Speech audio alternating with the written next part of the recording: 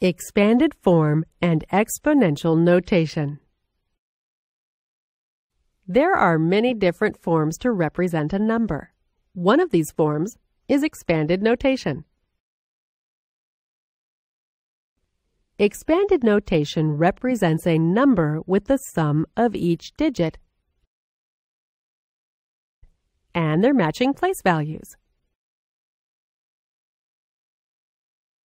For example, 64,352 in expanded form equals 6 times 10,000 plus 4 times 1,000 plus 3 times 100 plus 5 times 10 plus 2 times 1. In this lesson, we will learn how to represent expanded form using exponential notation. As you move to the left in a number, each place has a value 10 times the place on its right. 10 is 10 times greater than 1. So 100 is 10 times greater than 10, and so on. Using this information, we can rewrite each place value in exponential notation. Let's start with the hundreds place, which has a value of 100. 100 equals 10 times 10. So 100 is equal to 10 to the power of 2. 1000 is 10 times greater than 100. So it equals 10 times 10 times 10, or 10 to the power of 3. What do you think 10,000 will be in exponential notation?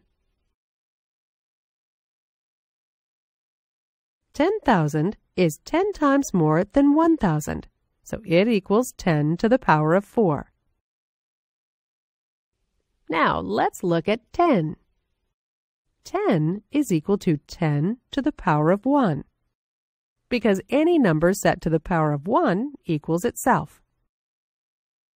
Since each place value is 10 times the place value to the right, as we go higher, the exponent increases by 1.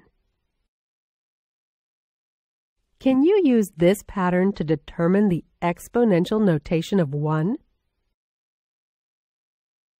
Any number set to the power of 0 equals 1. So we can write 1 as 10 to the power of 0. You may also notice that the number of zeros is the same as the exponent. And notice how the value of the ones place does not have any zeros. So we have a zero in the exponent. Let's go back to our previous example. To write 64,352 in expanded form using exponents, we replace each place value with its exponential notation.